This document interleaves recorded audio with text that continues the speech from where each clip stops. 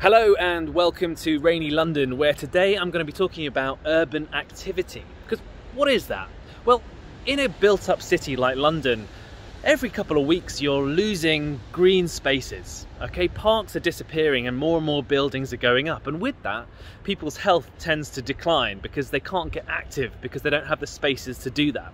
So, what we need to do is find a way to get people active in the cities in a built up environment, and there have been several approaches to that over the last few years. Some people have just built things up and with a mentality of if we build it, they will come and often we now know that they probably don't come uh, in, unless you have like a local leader there who's going to be inspiring people to use facilities and get them active and get them doing things. And it's not as easy as that. Then you have spaces which are a bit more regulated turning more and more into community spaces. And that's something which is probably the right way to do it.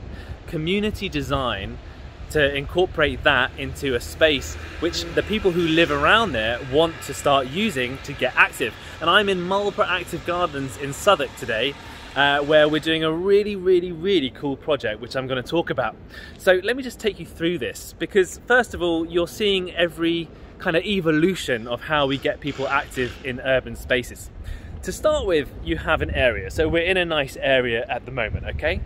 And the first thing you do is do very simple things like mark some lines on the floor, which you can then turn into tennis courts, football uh, pitches, and all things like that.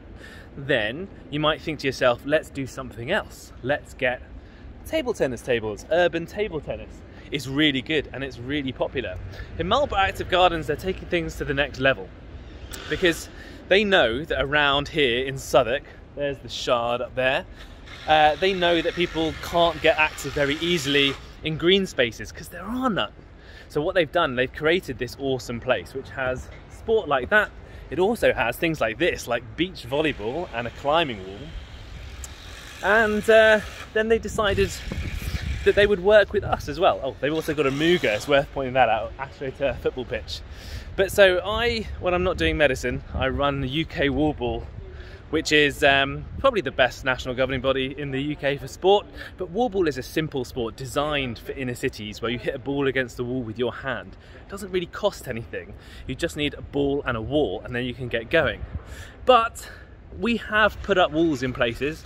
We do a lot of work in schools, but like I said earlier, if you build it, they will come, not necessarily.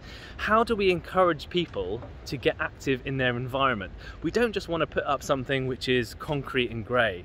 We just don't want a facility which looks boring. So what we're doing today is very, very cool, very innovative, maybe the first of its kind in the UK. We are building our first ever full-size community wallball court going on behind me. I won't show you what the design is going to look like when it's finished just yet, because we'll see that later. But let me tell you why this works really well for urban design. Not only do we have a wall that goes up and it's got a mural on it, and on the mural it's going to show people playing, so people can look at that and they can see, ah, that's what I'm supposed to do. Then they will see this sign down here where they can learn to play go watch a video which teaches them how to play.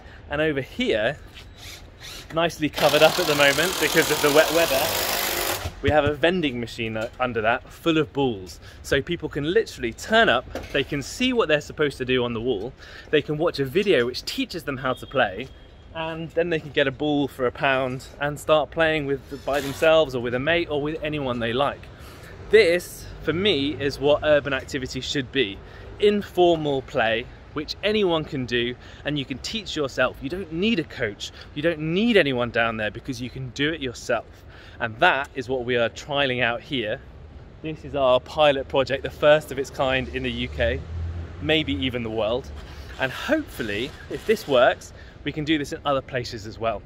So, urban activity is not just about saying how do we get people active ah, oh, I don't know get a cycle lane, do this, do that. It's about engaging community to do something which is different, something which is unique and vibrant and exciting that gets people interested in using that urban space as an active space.